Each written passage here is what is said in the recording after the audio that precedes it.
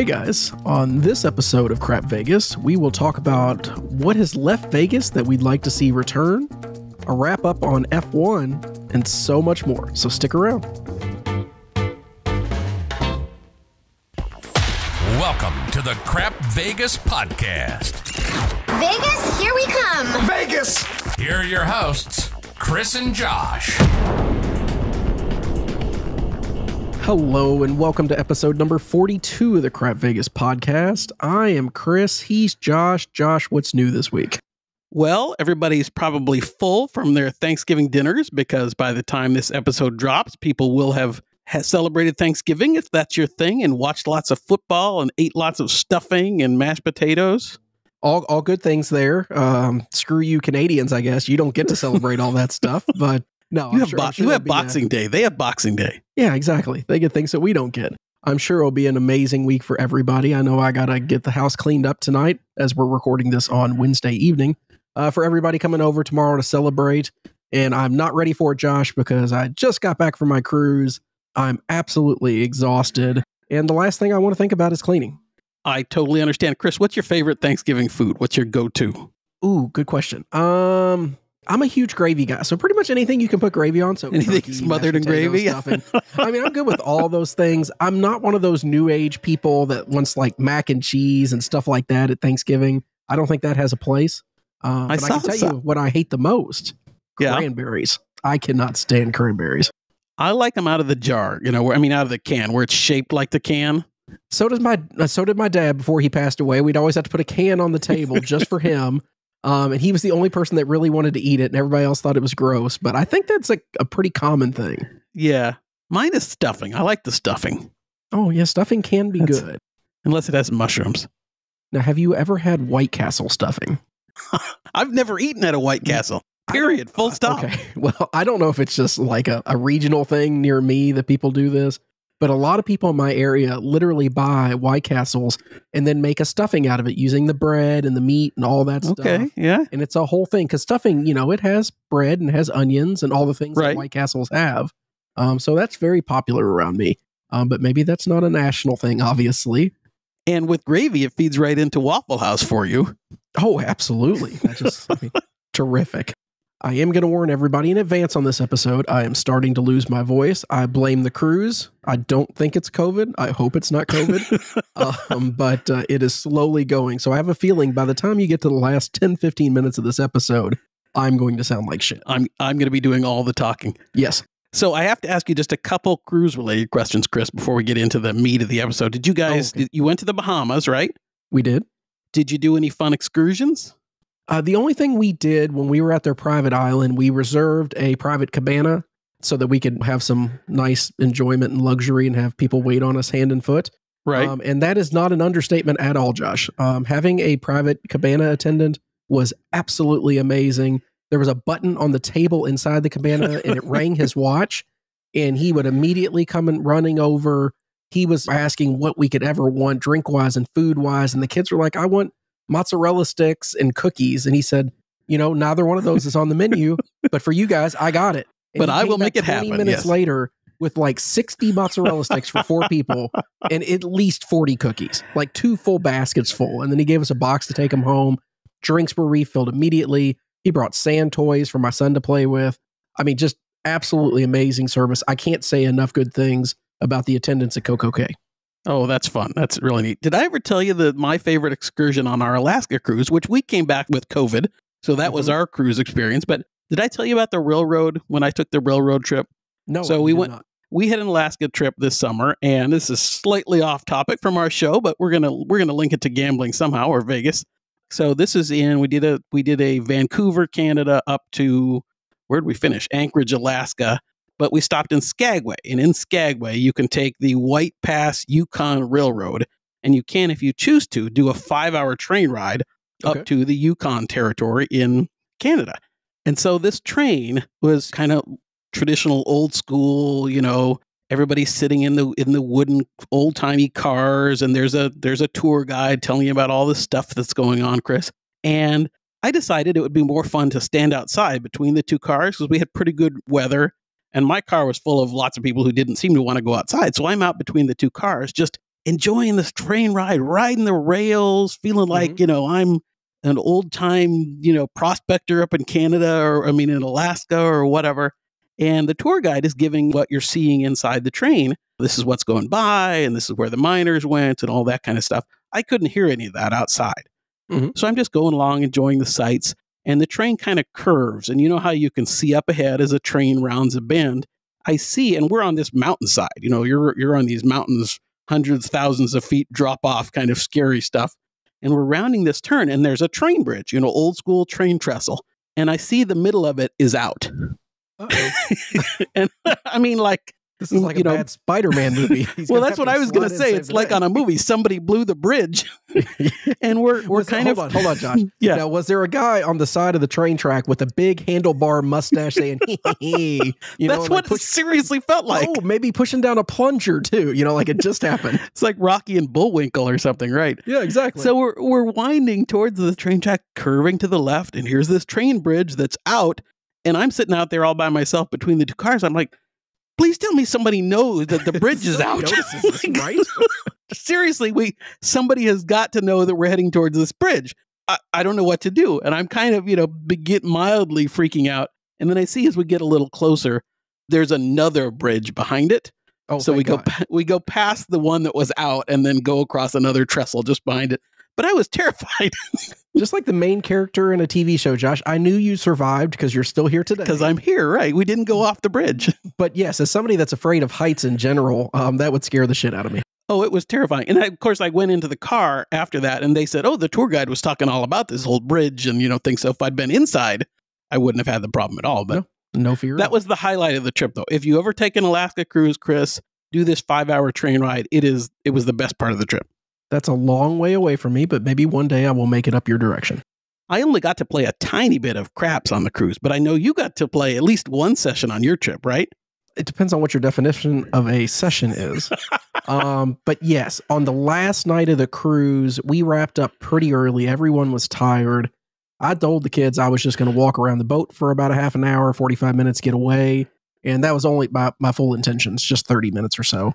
I went right. down to the casino just to check it out and see what the rules were and stuff like that. And I thought, well, well, if I'm here, I got to play a little bit, right? You know, just a Oh couple- yeah, couple shooters. And when I walked over, Josh, it's like they were greeting me. The Red Seas had parted. There was half of a table wide open. The whole side of the table was empty. And I thought, well, this is perfect for somebody like me. I walked up. A hmm. guy was in the middle of the roll. Of course, he was a known controlled shooter. He was setting dice like crazy. He did make a point while I was standing there and quickly sevened out right after. I'm really glad, though, Josh, for the first time ever, I didn't buy in after he made his point. I told the base dealer I was Oh. going to wait for the next shooter. I'm glad I did because it was 0.7 immediately after. So so that was great. Um, got bought in. I think I only bought in for a couple grand. It was a very small buy-in for me. Here's the rules that I think are worth pointing out to people. Now, granted, this was a Royal Caribbean cruise, and every cruise line has their own casino rules and everything else. Um, but at least at the table I was at, if you were playing $15 at the $15 table, you could take one times odds. If you played 25, you could play two times odds, which is what I was doing. And okay. if you jumped to 50, you could play three, four, five. So they tiered the odds based off Gotcha. your pass line bet. And So we've heard was about that before. Yeah. And I know you sent me a note, Chris, that they were really insistent about dice hitting the back wall. I mean, it's it's beyond like a suggestion. If it doesn't hit the back wall, it's no roll. Period. Both Um, of them are just dice- one? m- Both, dice must must hit the back wall, or it is a no roll. I saw them call no roll at least ten times, and one time it actually hit the top rail, like it was going to land in somebody's chips, Right. and then bounced back on the table because it hit them. Still, no that roll. was a no roll? Wow. no roll because it didn't actually hit the wall; it hit the rail. They were insistent upon it. I will say, I that is extremely annoying um, to have that because it really slows down the game. It makes it very confrontational between the players and the dealers. Sure. And worse than that, one time a player threw it. One of the dice hit the back wall. The second die looked like it didn't hit the back wall. And Right. of course, it was a seven out. And they went with the seven out. And one of the players started going off, and all the other players started joining in. And Josh, they're right. It's bullshit. You can't say it's a no roll if it doesn't hit the back wall on number that would have helped. And Right. then say, oh, yeah, it's a roll because it was a seven out. And they did. They wouldn't back off. The guy started yelling at the box. You weren't even paying any attention. You don't know what you're saying. Oh, I was looking. I don't think he was. Right. Um, but none of the dealers seemed to notice either. wow, that's too bad.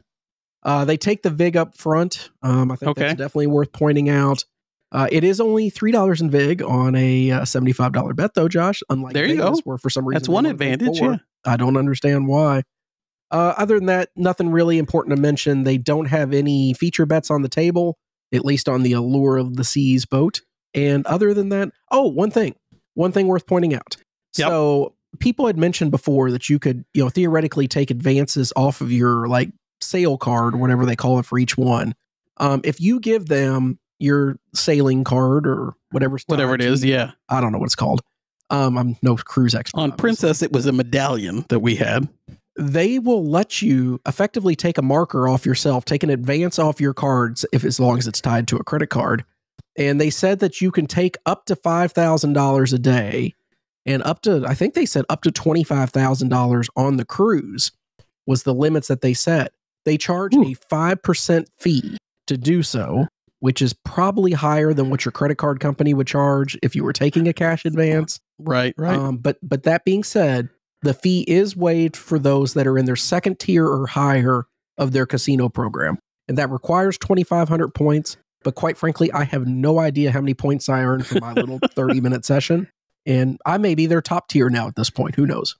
well, if you start getting offers for cruise, you know, gambling cruises, I mean, what do you think about though, though, Josh? Being able to take an advance effectively off your credit card at, with no fees potentially. I well, you know, I say that. I wonder if the credit card company has it. There's that as a too, cash right. Advance. well, But no, if it's coming, But I don't think they would because I think it's just hitting your sail account. yeah, Like, it's just that's what I was for- thinking too. Folio as a normal transaction. Just a, right, right. So I wouldn't think there'd actually be any transaction fees.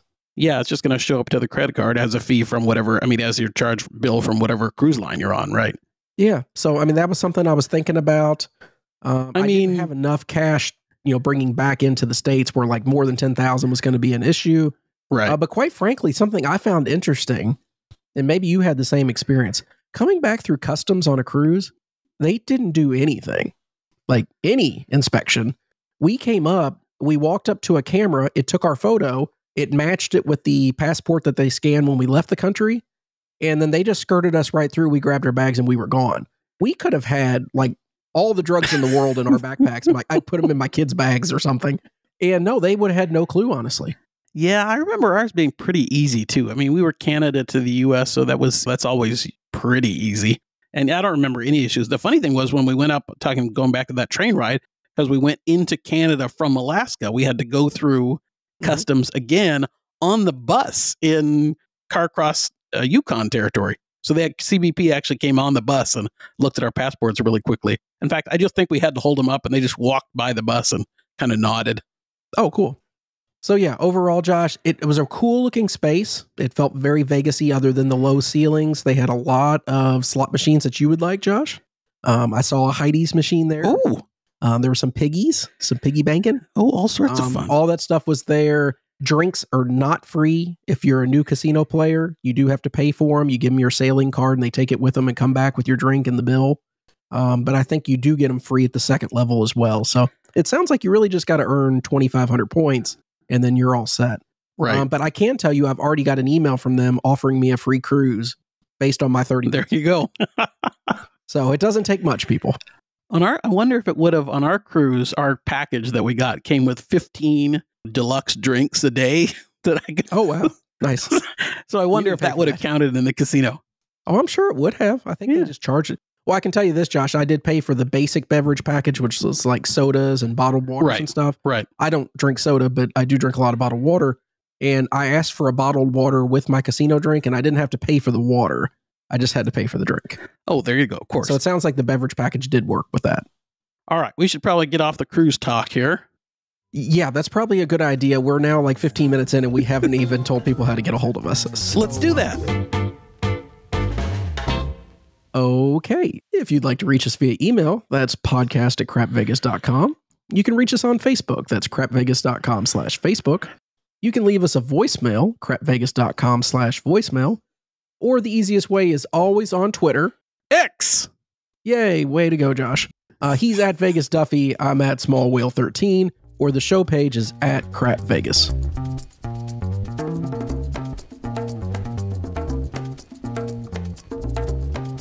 Okay, previous episode feedback. Last episode, we talked about the ideal Vegas property and what was important to us. Josh, we received a lot of feedback from listeners on their ideas and thought we should run through some of them. I like it. Okay, so from Joyce, we got I want my getaway to make me feel pampered. Can't argue with that. I No, want my no ideal pampers. property to have that. Yeah. Yeah, when I think pampering, I think Wynn. So good word association there. Shill.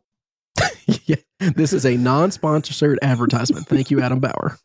Vegas Shaft said, comp drinks on demand while playing slots like they have an AC. Josh, have you ever seen the systems where you can touch on your Players Club screen and order a drink right from the machine?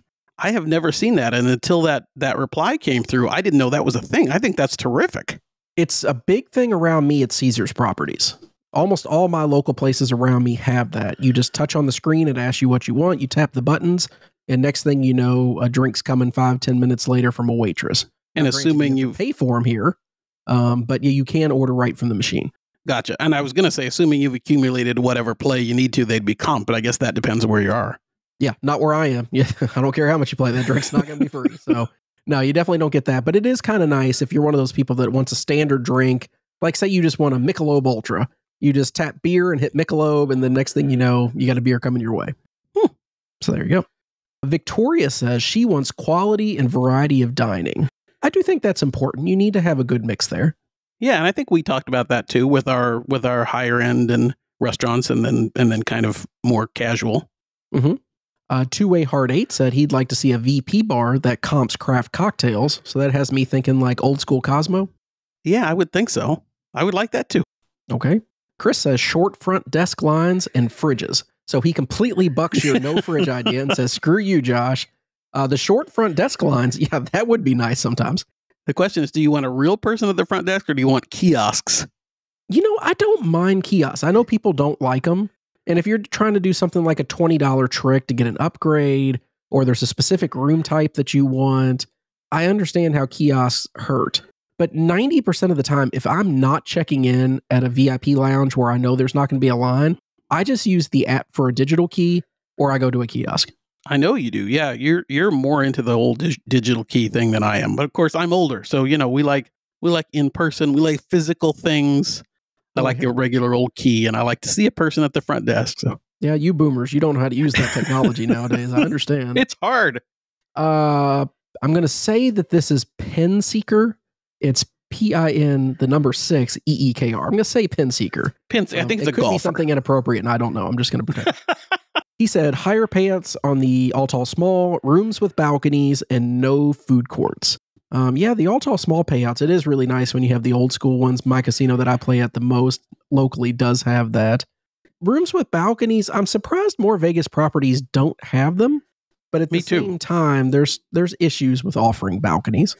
Yeah, I, I like balconies to look at. Like if you're at Bellagio and you look over at the Cosmo balconies and see what's going on, more than I actually like to hang out on balconies in Vegas. Okay, fair enough. That's okay. I can't say that I've spent so much time on Cosmo balconies, eating meals and overlooking the fountains and stuff. It is really cool. Isn't the Versailles Tower going to have some balcony rooms? Isn't that the It's thing? it's supposed to. Yep, at Paris. Yeah, it's definitely supposed to. So those should be nice. A couple other ones we'll fly through real quick, Josh. Uh, let's see. A lot of folks said three to two blackjack. Of course, that is really important. I think that that should be present at all casinos, at least at some level. Uh, Joseph said VIP check-in should always have an impeccable feel to it, which poses the question in my mind, Josh. What do you think, property-wise, which one has the best kind of ultra luxurious welcome? I think it's probably Bellagio's VIP check-in area. Uh, I mean, it's Okay. a darker room, so it has a kind of an intimate feel to it. I haven't had experiences where I've had huge lines there. As much as I like Sky Suites, and I think we've we like that experience, I don't find their check-in area to be Oh, particularly luxurious or It's wide open. There are a couple couches to sit at, but it's yeah, it's more of a like a cattle call area. Get everybody to come together. Yeah, and at Wynn you actually have. I mean, this may be the case in some other properties too, but you have kind of three levels. You have the normal Wynn standard check-in area. You have the Tower Suites area, and then if you're even even more fortunate, you have the RFB exclusive check-in area, which is kind of through their RFB lounge, which is their food and beverage lounge for higher end players, that kind of thing, and then into that check-in area, and that's lovely. You know, unrelated to these luxurious ones, I remember the first time I hit Diamond uh, with Caesars and was able to check in in Planet Hollywood's Diamond Lounge. You know, because not every Caesars property has a Diamond check-in area. Right, right. Um, and if you're not familiar with where it is, if you see the escalators going up when you come in the main entrance, Josh, it's just to the left of that. Yeah, I Um, remember There's that a glass now. door that leads back. in. Yeah, There's nothing luxurious about it. I mean, literally, it's just like Right. five desks and a couple chairs. They don't even offer you water, at least. but it was always was super there. quick as far as I remember. But they got you in and out usually. Yeah. You know, if you wanted a North Tower room, you get a North Tower room. And I just, there was something that you felt so special about being able to avoid the mass lines and going to a room that not everybody could go into. Right. Which reminds me, Chris, as as we're talking about this, I'm remembering a story in the Wynn RFB check-in area. A man came in and was asking for some sort of something or other he wanted, and he kept his casino chips in a shoe, and he carried Well, around this like this Gucci tennis shoe or some exclusive, some high-end, lug, uh, stylish tennis shoe full of his chips, and that was his good luck shoe. Oh, well, yeah. I mean, everybody has a collection, I can't believe you don't know about that trend. It was it was really random. Yeah, people send me DMs all the time with their good luck shoe, and I just I ignore most of them. But I guess I need to start resharing those with you. On the next episode, tell us your good luck charms. Yeah, exactly. Uh, a couple last ones. Uh, Marilyn said adults only pool in a beautiful spa, and I'm never going to discourage a European pool. You guys, you know, you just take your tops off and have a great time. It's not what Marilyn meant. I'm sure it is, Josh. But I Um, agree with the adults only pool and a spa. As you know, I like those, so that's I can't argue that. Roger Burbank said a friendly casino staff for all, which I agree. I think the staff is what makes a property. And a lot of people also said a great poker room. That doesn't interest me too terribly much, but I can understand why that's a big draw for many people. Yeah, me too. I like to, as you know, I go and play poker sometimes, so I like to have it at least somewhere. Okay, so we got to take this whole list, Josh, put it all together, except for the fridges, because you and Chris are completely. We have some disagreement on that, right? but we can put the rest of them together and truly create the ideal Vegas property. There we go. Should we start we we just- just GoFundMe? Is that what uh, the next step is? Well, I was going to say we need a venture capitalist, but yeah, one or the other, right? I mean, GoFundMe or, or we can get VC money, right? there, right? I wonder what the largest GoFundMe campaign. I mean, I'm assuming it would be charity, you know, some sort of charity thing, but I'm sure. wonder how much has ever been raised off off one GoFundMe campaign. We'd need more. I have no idea. I'm going to guess and say a couple hundred million. You think that many? Wow, I think so. or that much? Yeah, I think so. But we'll find out. For next episode, we'll have an answer for you. Sure. Okay, uh, another listener feedback. We got a message from Jack. I don't know how it came in, Josh. Was that email? This was a DM, I think. Jack said regarding the Palazzo High Limit Salon that we talked about on the last episode, he played there from like 10:30 a.m. to 2 p.m. on a Wednesday. Tables opened at noon, and he can confirm the craps table was $50 in the high limit pit. But he said it quickly changed to reserve when some guy who quote was kind of an asshole showed up to play. it's a nice space, but perhaps a bit too secluded. Also, they were playing a strictly 90s hits playlist across all genres. Uh, too secluded. That's isn't that what you really want in a high limit? Well, that's what I was going to say. I'm going to say Too Secluded and 90s Hits playlist kind of sounds That right up my alley. I mean, that sounds almost ideal to me. Get me away from everybody else, so I'm in my own special space and play 90s hits the whole time. Josh, I may have to book a trip to Palazzo right, to end of the Venetian, right, just Plato. Now, that's what, 30 years newer music than what usually plays at Wynn. So, at least in the morning. Well, that is true.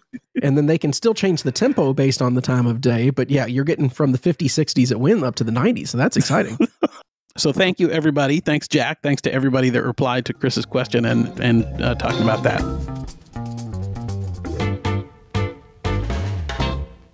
Okay, main topic time, Josh. Last episode, we hinted at this, but the main question this time is what is gone from Vegas now that you miss? Vegas is always reinventing itself and things are removed, replaced, reconsidered.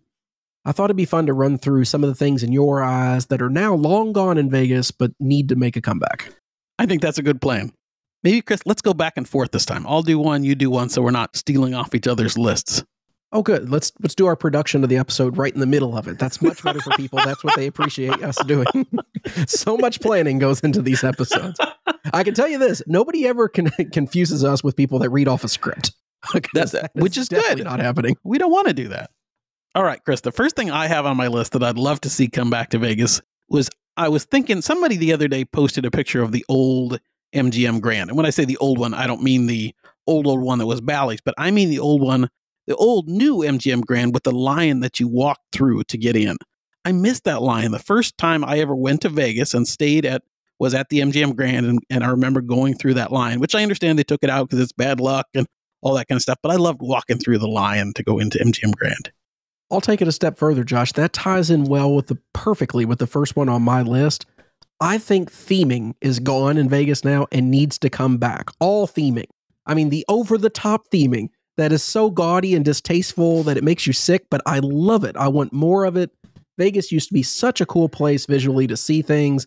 It's just becoming generic more and more every day. We close down theme properties and we reopen it with a stupid name like The Link that means Right. absolutely nothing, has no theming, it's gone.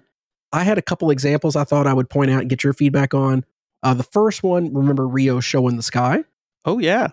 Yeah, yeah. I used to love that. That was again, I mean, to your point with theming, there's so many. I'm with you on that completely. And as much as we talk about our, you know, enjoyment lately at Aria, Aria has no, No theming. you at know, all? it's just yeah, no theming at all. And I, I agree. I missed that. I mean, that was the nice thing about the old MGM Grand was the whole Wizard of Oz stuff and the carpet and I agree. A couple other things I said along those lines. Uh, Luxor had the Nile River ride that ran Yeah. throughout the property, which was really cool.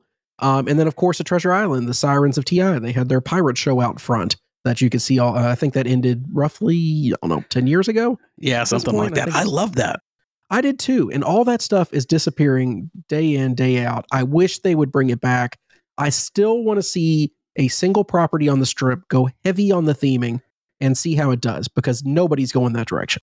Now there is a problem if you, you know, and to not throw Excalibur under the bus, but if you don't maintain the theming, then it gets kind of dreary and Yeah, that's true.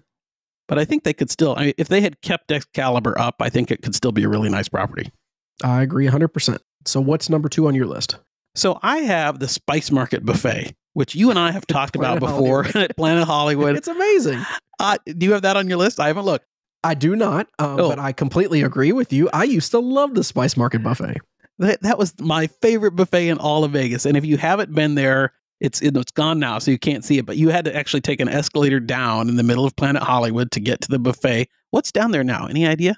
I have no idea what's down there now. Yeah, somebody will know. Is. Got- but anyway, you took an escalator down to get to the Spice Market buffet. It was really good at Planet Hollywood. So that's one thing. I've also got, speaking of Planet Hollywood, Zumanity, the Cirque du Soleil show. I did have that on my list. I'm a huge Zumanity fan. We may be the only two people, Josh, because that show got a lot of hate.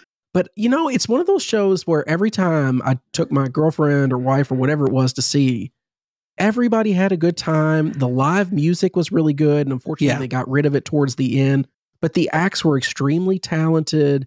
It's kind of like zombie burlesque in the sense that it it walks up to that line of what's Right. tasteful versus not tasteful. Um, but it never really crossed all the way over.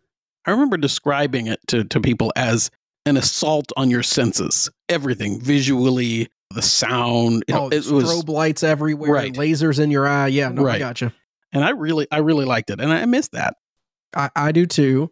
Uh, for me, if you're talking about food that's gone, Josh, I listed blue ribbon fried chicken, which I mentioned last episode. Which I've never had. But Promenade in front of Bally's. It was amazing. It fell off towards the end when I guess they came under hard financial times. But uh, it was one of my favorite restaurants in Vegas. And when I used to play extensively at Cromwell, I used to walk over there and eat maybe two meals a day. now, surprisingly, I did not officially put milkshakes at snacks at Bellagio on my list, but that would be on my unofficial list to bring back is the milkshakes at snacks. I think everybody in America knows that. Knows that. How about any shows, Chris? Did you have? Well, I mean, we have Zumanity, but any other like performers or anything that you had? No, nothing like that. I, I definitely wish Zumanity would come back, but there was no one time performance or anything like that that I was hoping would make a comeback that hasn't. Like, I'm not saying like Mystica or whatever has to come back Right. again or anything like that. The one that I have is kind of the Vegas staple is and and was supposed to be at Resorts World, but because of her health is Celine.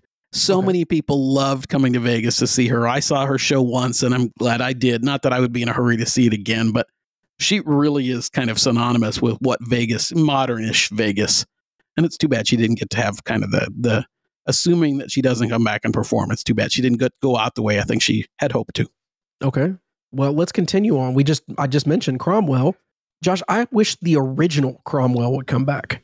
When Caesars opened that property up, the Cromwell was everything I wanted in a Vegas casino and a Vegas property. It Right. had three to two blackjack. It had 100 times odds, single zero roulette. It was a terrific place to It had a nightclub on the roof. You could go up to Drai's at night if you wanted to have a nightclub to do your thing at. The hotel was beautiful. It was boutiquey. It was small. You didn't have long corridors to get to your room. They had coffee service on two floors where you could go get your own espresso in the morning, which was amazing. It was free. Eat Well used to be open 24 hours a day. And I still to this day say they had the best nachos in America, bar none. and what did they do with COVID? They made Eat Well open like five hours a day and they took the nachos off the menu and they've never been back. Do we have a nacho Not question coming up? I think we have a nacho No. question somewhere. But I have a feeling as we move forward, the nachos at Cromwell are going to become my milkshakes at Bellagio comment. The only last thing I had, Chris, on my list was I missed two and three dollar craps at Casino Royale. And on the strip, low limit craps was a lot of fun. That's where I cut my teeth playing craps, was at cheap craps at Casino Royale. Terrible dealers. I don't mean necessarily bad professionally, but grumpy, surly dealers, Oh, sure. Yeah. you know, wouldn't take crap from anybody and really low limit. You could play for just forever on 250 bucks. And I missed that. Well, I mean, it ties into the last thing I had on my list, Josh value. I think value keeps disappearing from Vegas more and more each year. All the fees that keep adding up room fees and ticket fees and CNF charges at restaurants and parking for here and there all that stuff gets worse and worse every year. And a place that you used to be able to go with $300 for a week Right. and get by on, that's long gone. I mean, your daily resort fees will eat that up pretty darn quickly, no matter what you're paying for the room. I do think it's worth mentioning that even though rooms do have these fees associated with them, in the grand scheme of things, compared to large cities, it is still a reasonable value. If Yeah. you're talking like a New York City room that might be three or four hundred dollars a night, and they're going to charge you for parking too and stuff. But that's not what New York City's known for. They're not known as a value proposition. Vegas is. And I think somebody that hasn't been to Vegas in 20 or 25 years, if they came now, they wouldn't even know what they're looking at. Right. No, I agree. I still think there's some there's as you said, there's some value there compared to other places, but it's not what it was for sure. Now, if you're fortunate enough to play at a level where you can get some some things comp, then that's where, you know, some some greater value comes in for sure. Oh, for sure. Our life is much easier than the average gambler's. I fully understand that. Right. So I think that's it for us, but if you have any thoughts about things you'd like to see come back to Vegas, whether it's gambling related or show or restaurant related, give us a shout. We'd love to hear what you have. Okay, F1, Josh. F1 weekend has now passed. We have firsthand accounts from people that were there, tons of secondhand accounts on Twitter and anywhere else you want to look to get some feedback on the thing. It had a lot of hiccups pop up the last week with manhole And manholes pop up? the ground Right. and things being canceled and all of a sudden ticket prices were 20% of what everybody paid at the beginning and you could just get them from any guy on the street that wanted to give them to you what are your thoughts about F1 and how it went?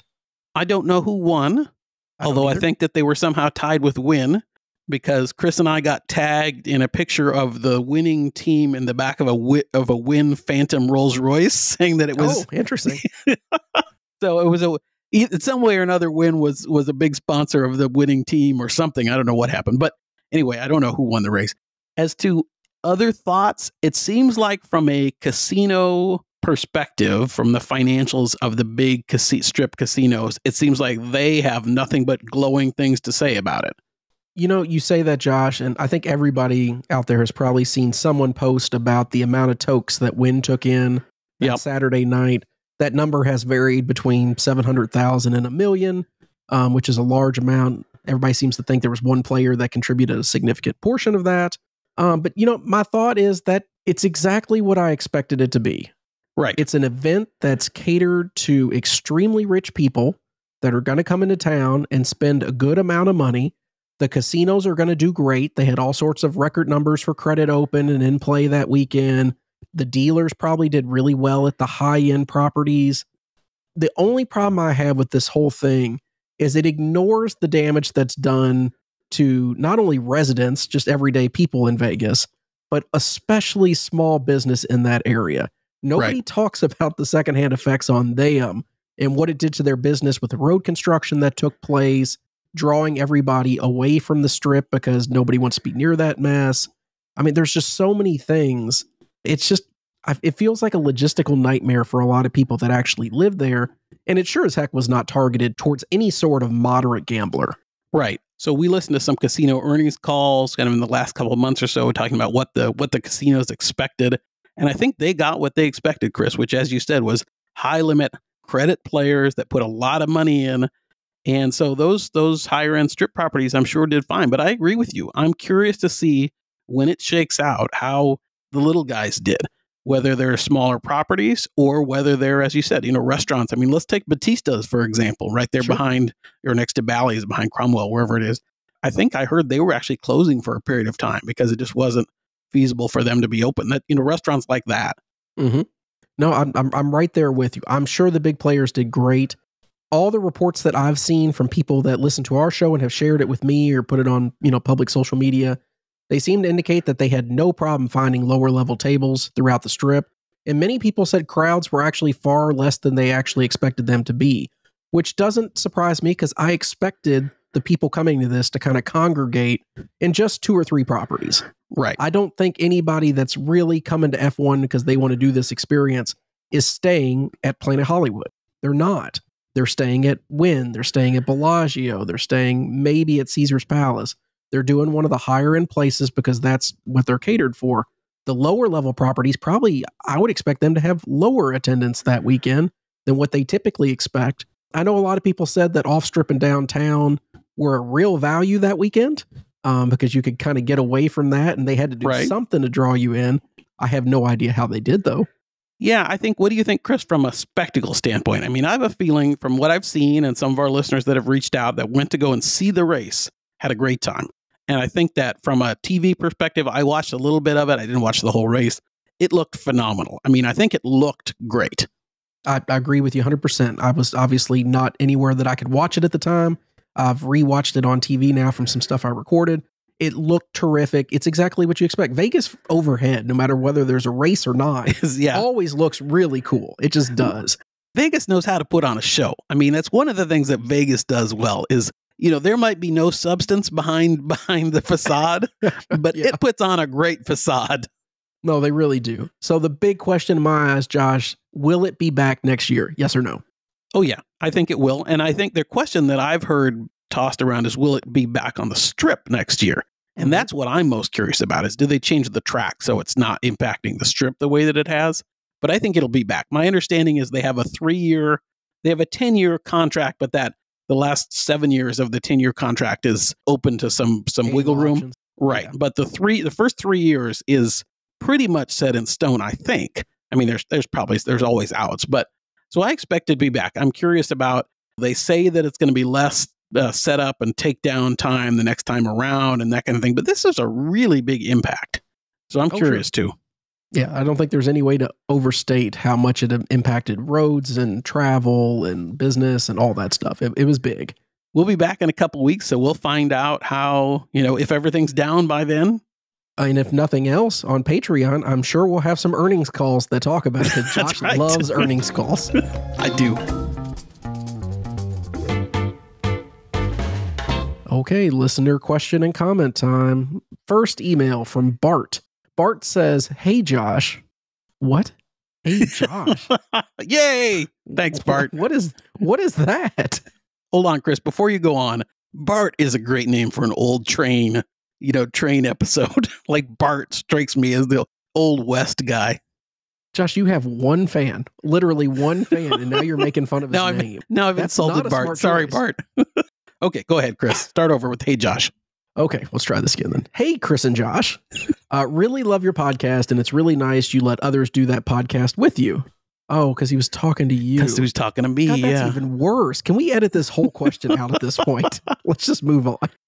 So Bart said, if MGM gives me comp rooms for my next trip, while Caesars doesn't, Last trip, I split my action, and am I allowed to use that word with my money? Between all properties. I have never played craps, but I will try it on my next trip. We'll give you a heads up so you can join my first session to benefit from my first timer's luck. Very nice. Still love your podcast since I really enjoy your Vegas stories, although I do not understand a word of that craps talk. Is it all to all small, alter small, or all tall small? I can't figure it out. Don't worry about it, Bart. It's not important. You don't need to play it. It's a horrible house edge bet, anyways. You just focus on the pass line when the time comes. I thought you were going to say, "Don't worry about not knowing craps." I think a lot of our listeners don't know when we when we get to talking craps. Just fast forward thirty seconds at a time and get through the craps talk. If that's not your thing, it's Yeah, that's confusing. probably- That's Yeah. probably a good idea. Anyways, uh, Bart has some questions though for us, Josh. He says, as I now have some more bucks to spend on gambling on my next trip, totaling to $1,000, what should my table minimum and crap strategy be to get the most time on a table? And what property would you start with? Oyo? Well, not Oyo. Yeah, I can't recommend that. I I think you said you get comped at MGM properties, right? Not Caesars. Yeah. So Bart, I would say a lower tier MGM property would be a great place. I mean, Excalibur, I think, has good, fairly lower limit craps at a, at a nice property chain like MGM. That's what I would say to start with. We've talked a little bit before about what I think, you know, what we think your initial bet should be. I think $1,000 is fine. If you can find a $10 table, that's even better. But a $15 table, play a minimum bet on the six eight and a pass line bet would be my my thought as a way to get started. Easy peasy. Yeah, Josh nailed it. If you look back through some of our episodes, I know we talk about that a handful of times. So just check the show notes and you'll see which episode it is. If we were a better podcast, I would tell you what episode it is, but we just don't do that much planning. Um, so it's in one of those episodes back there. So what? Why not Oyo, Chris? Well, if it was Hooters still, then I would say yes for the visual stimulation that you could get from going there. I don't have anything against Oyo. I don't have anything for Oyo, but I, I don't have any feelings particularly one way or the other. But my thought is stick stick with MGM since they're comping you and play there. Uh, do you have a favorite Caesars or downtown property? From other episodes, I think it might be Circa and Caesar's Palace. Well, somebody did not listen very closely because if I had to t- pick two answers that I would not recommend, those would be it. Well, you know, Bart's Bart's from overseas. Maybe something got lost in translation a little bit. Probably. I think my favorite downtown property to play, and Chris and I have gone there before, and we're probably overdue for a trip, is Golden Gate. I really like to play at Golden Gate. It's fantastic low limit gambling. Yes, it's really loud, as all DS properties are, but you can get some good cheap drinks and just have fun playing low limit. You're you're probably going to get bad odds, at least on roulette and lower you know lower limit some of the lower limit games, but who really cares? It's still a fun place to play as far as staying, I haven't stayed downtown, so I don't have a you know a real good piece of advice. I would like to stay, as I've said before, at Circa. Sometimes I know that's me and not necessarily Chris. I'd like to stay at Golden Nugget. Probably those would be my two thoughts for downtown to stay. Yeah, I, I think that's good. Golden Gate is a great place to play. And the good news is, if you play craps at Golden Gate, you really get good arm exercise because the tables are Oh, about those 27 feet are- long. Yes, they Um, are. And the dice go off of pretty much every roll. So you get extra steps when you go to pick up the dice. So it's really good for exercise purposes. If you're going to stay downtown, I do like the D. I think it's a good place to stay. Um, Caesar's property wise, I think Josh and I both lean towards Planet Hollywood or. Paris. Yep. That's the kind of the two that we always recommend. They're great properties. The location is unmatched, and they're just you know they're they're fun places to be. Yep, and maybe the new rooms at Paris would be would be fun too if you are if you want a newer room, the Versailles Tower when it's Sure. open. Uh, he said, "Why don't you play at Resorts World at all? I really like the floor there." We actually just talked about Resorts World on the last episode and gave a lot more detailed thoughts about it. So if you want to go back and listen to episode forty-one, you'll get a lot more of our thoughts on Resorts World. It's a nice property. There's nothing wrong with it. It's just not my cup of tea. Yep, I feel the same way. Do you only play in the US? He asked. Have you tried Macau? I would love to go to Macau. Wynn, if you are listening to this, we are constantly looking for a sponsorship. I would be glad to fly out there, test it all out for you guys, and give you feedback on it. It's just not something I've ever had the chance. But as I mentioned earlier this episode, I did play in international waters. I guess you could probably call it the Bahamas at the time. Um, I've played in Mexico before. I played in Canada many times when I was younger and talked about that before. Um, but no, I haven't played in Europe, and I do want to get to uh, England sometime but I've heard that the Hippodrome lost its table, so that It makes me very did.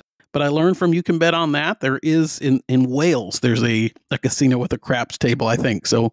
We just have to go to Wales. Yep, just have to get on. Josh, I really do think we need to schedule a Crap Vegas international experience where you and I go to something like Macau and try it. I thought you were going to say Wales. I, I, we could, I would go to Wales too. I would love to go to Macau. But speaking of Wales, did you know I lost my high school Letterman's jacket in Wales? Is this a bad Chris- joke or is this no, a this is that's story? true story. I left my high school Letterman's jacket in a hotel room in Wales. Okay, I've never been to Wales, so that's never popped up for me before. How's that for a random? But I thought you were taking like the old idea where you throw a joke into the beginning of every episode and you were going to plug it into the No, this- there's no joke there. Starting off very good. Although the joke, if you want to ask me, you're supposed to. I guess here's the joke, Chris. Ask me what I lettered in. What did you let her in, Josh? Could you guess? Any guesses about what I might have lettered in? No, I don't have a guess. Should I? academics. Academics. Oh, well, I had a Letterman's jacket because I lettered in academics. It's probably for the best that I lost it in Wales. Yeah, I think so. That's uh, that's quite embarrassing. Um, but that's okay.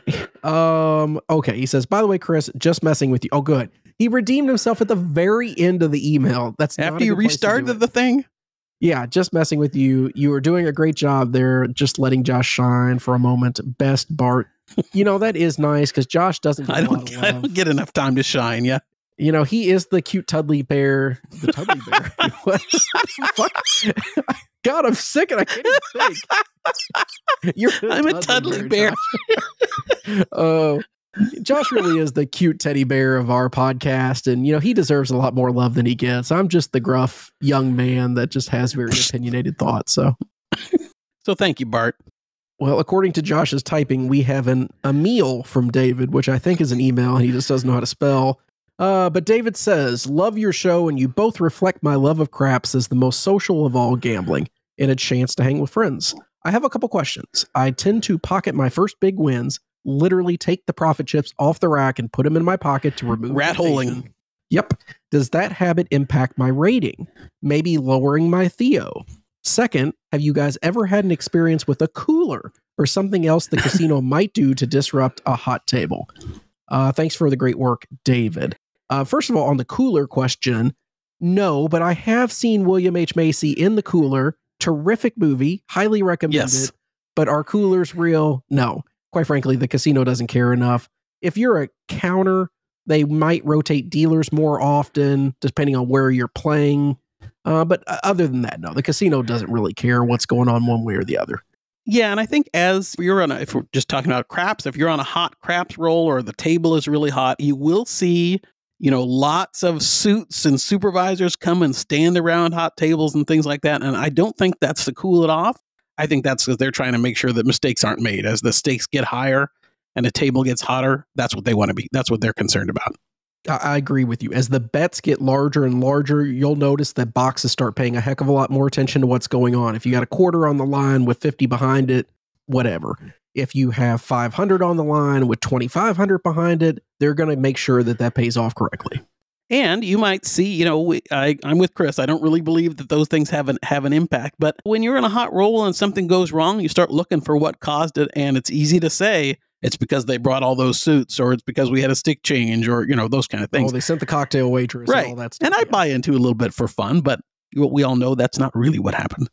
So your habit to rat hole chips, stick them in your pocket as you're playing, does it affect your rating? No, it doesn't affect your rating. Your rating's just based off the chips that you have in play at any given time. So they don't care how many chips you have in your rack or how many chips you have in your pocket.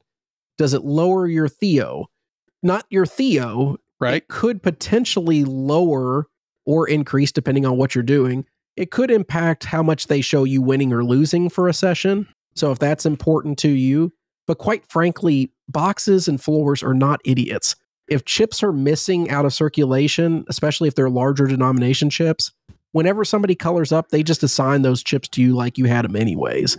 Yep. They usually know what you're doing, and dealers usually rat you out after the fact anyways and say, "Hey, you're sticking some chips in his pocket." Um, they have to assign those chips somewhere, so you're probably going to get assigned them. If it helps you from a gambling perspective to make sure you walk away, go for it. It really That's what I was gonna say, it all. Chris. But no, it, it doesn't impact your Theo. It doesn't impact your rating at all. The only people that really do it as a true play again, are probably counters. Counters are trying to not show that they're a lifetime winner. Um, because if, quite frankly, I don't care what you're doing. If you show up as a lifetime winner at a casino over an extended period of time, you're probably going to get backed off anyways. Yeah, lifetime winner is not an issue I have. No, For me though, for me before. though, sometimes sometimes I will put some green chips in my pocket or red chips or I'm carrying around, you know, loose change from a past session or things like that. I like it because it is a little bit, you know, let's say we've bought in for $2,000 and I stick over the course of a session 100 bucks in my pocket in chips, whether they're green or red. I never stick black chips in my pocket for the same reason that Chris said, because they're keeping an eye on those. And sometimes boxes will actually ask you, do you have any? 'Cause They want to keep a real close eye on those higher denomination chips. But for me, it's a situation where, as I said, let's say we bought in for two grand. If I can lose it all, but still walk away with a hundred in my pocket, I feel somewhat, you know, well, at least I didn't lose the whole two grand. So there's just a little bit of that to me. it's a head start on the next session. That's Yeah. all it is, which is awesome. Okay, final question this week, Josh. We got a DM from Sean. Uh, that's ATX underscore gambler on Twitter or X if you're interjecting here. Um, X. and he's also a patron who, an upgraded patron, Josh, you say. oh, right. Yeah. Thank you, Sean, very much. So upgraded means what, Chris? What does that mean? Uh, he moved from the entry level patron to the top of the line known control shooter level. So thank you for doing that, Sean. We really do appreciate it. He also sent a really nice message, Josh, about the quality of the hoodie that he got. He bought a coffee dice hoodie, and he confirms for everybody that it is the softest hoodie he's ever owned, and he wants to buy like 50 of them now. So Oh, perfect. understand. Thank you, Sean. And Sean has also been active on the Facebook group, introducing himself to everybody. So thank you, Sean, for joining the community. You've been a, a great benefit so far. Yeah, absolutely. So Sean's message, Josh, he says, I know you guys have somewhat transitioned over to MGM from being total Wynn fans, but I would love to hear some of your favorite perks or meals at Wynn besides free rooms. Have you been to Sinatra's or any other cool restaurants besides room service?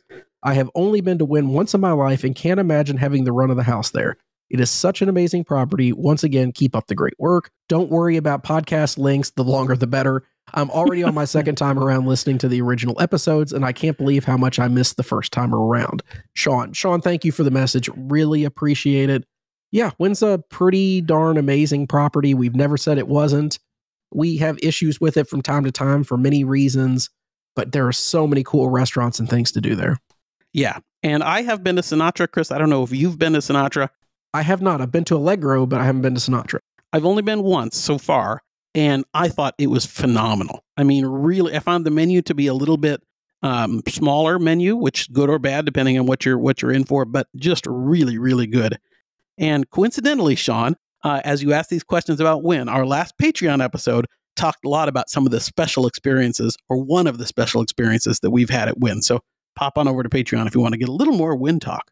Yeah, absolutely. Yeah, cool place. I mean, we're trying to spread our play out a little bit for different reasons. We get a lot more offered to us when we bounce over to MGM for a random weekend. Um, but no, Wynn's always going to have a special place in our hearts. And I will go to my grave saying that Wynn has by far the best dealers in the world when it comes to craps. They're all amazing. Their worst dealers are some of the best dealers at other properties. It's just a great place to play. I agree. And we'll be back there again before the end of the year. So it's not we haven't we haven't uh divorced Wynn or what was it you say trans transitioned over to MGM from being total Wynn fans. We're still Wynn fan boys. Yeah, and I think I'll be there in two or three weeks. And I know you're going to be there soon too. Yep, I'll be there the day after you leave. Yeah, of course. Just wait for me to get out of there. That's right. So thank you, Sean, for hinting at it a minute ago. But patreon.com slash crap Vegas. All sorts of exciting stuff going on over there right now, Josh. What's the most recent one? Well, as I said, we did a whole episode on uh, not a whole episode, but most of a whole Patreon episode on my experience via Wynn to get to go to the red carpet, blue carpet at the Academy of Country Music Awards in March of 2022, which was a fantastic experience. I told that story with some fun parts to it in the last in the last Patreon show. So that's what's most recent. Big thank you to those that have joined over the past two weeks. That's Joseph S., Terry A., Seven Out Line Away. Interesting choice to pick a seven out line. I was going to say that too. Daniel H., Erica B., and I love this, Yo Levin 11. Um, I guess he really likes pointing out that 11, you know. it's a 22. oh, do you think we should just rename him as 22 now? 22, 11, 11 22. 22. Thanks, 22. We appreciate it. On our NFL survival pool on Patreon, Josh, we have nine entries left out of the original 77. And Ooh. I am, and I know this is going to make everybody really sad. I'm unfortunately out of the competition now. I'm out of the competition on Tim from the Better Lives Survivor pool. And Chris, do you know why I'm out? You forgot to make a pick. Because I forgot to make a pick. Yes. That's what I'm- gets people most of the time. Very mad at myself about that. But on a positive note, Josh, the Fade Chris and Josh football picks of the week. I am now 18 and 17 overall, so I have a winning record a good way through the season. And if you have been fading Josh's NFL picks, you would now be 21, 10, in 1. That is insane. It is very insane. But tell everybody who doesn't know if you're not a Patreon subscriber what my record is in college football. Josh is 3 and 0 now. Three weeks in a row. He has nailed his NCAA pick that he makes each week. I mean, just fade his NFL, take his NCAA choice. I, I don't know what to tell you. It's free money. The, the few bucks you pay us, you're getting it well back the first time you follow Josh in a weekly bet. It's it's it's definitely worth it. But that is not an official an official binding commitment. That those you, past you, past right past results are not not indicative of future performance. exactly.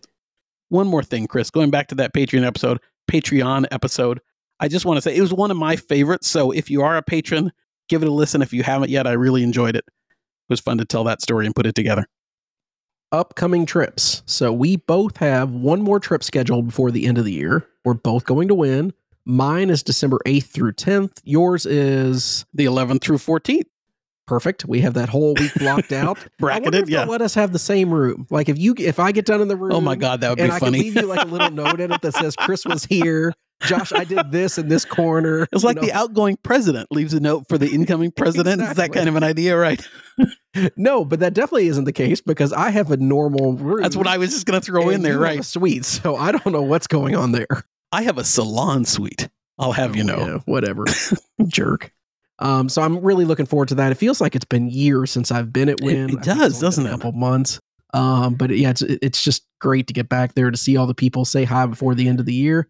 And Josh, I still may have to run out for one final flight this year to get my status I need on Delta.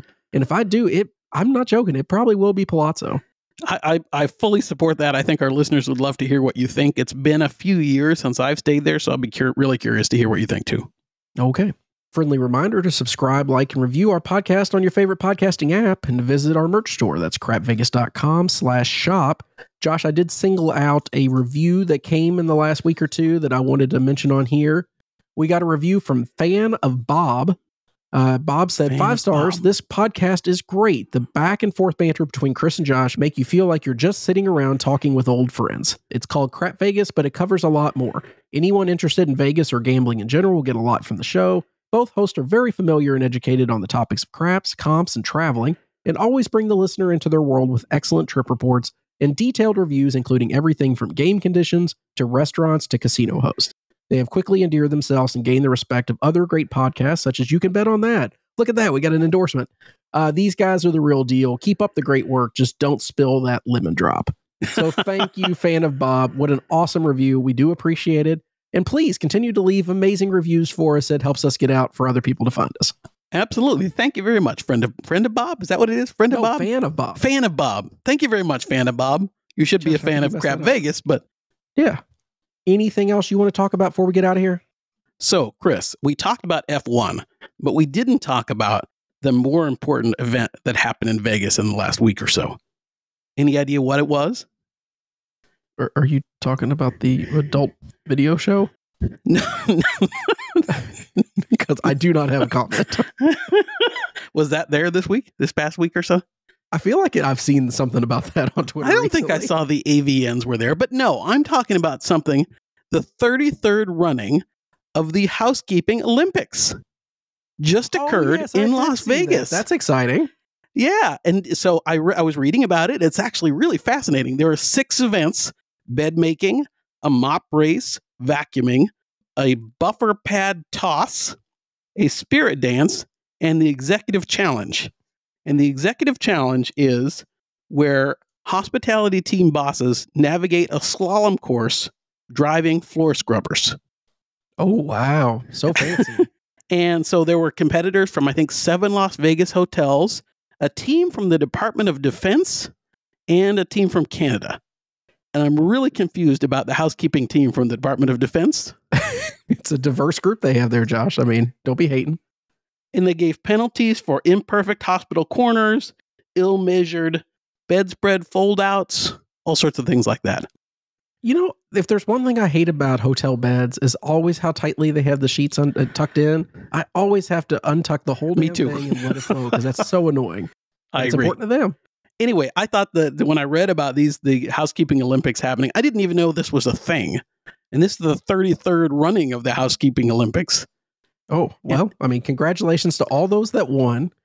I thought this was a good opportunity to thank the housekeepers in all seriousness. Eh, That is a hard, thankless job.